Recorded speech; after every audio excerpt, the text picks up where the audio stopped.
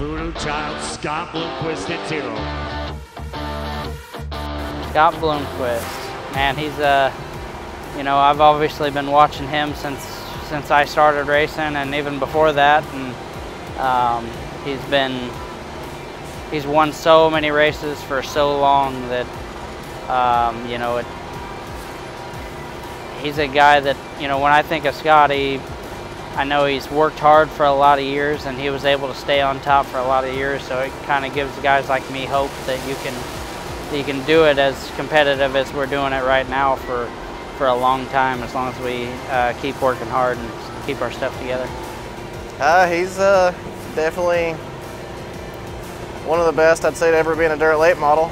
Uh, I don't know him personally, never really talked to him, but um, it's uh, I'd say his uh, his record speak for itself.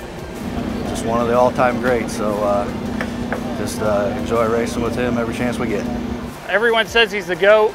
Uh, he's won a lot of races. I don't know, there's been a couple times I don't know what he's been doing, but uh, I think he could win any night.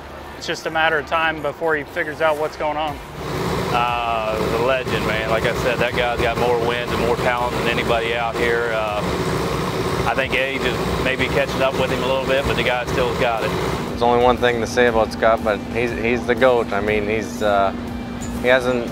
He's probably disappointed on his how his year has been coming, but um, and he'll tell you the same thing. That could turn around tomorrow, and he could go win the next six in a row. And uh, he's always he's always been one to look up to on the racetrack, and I like racing with him.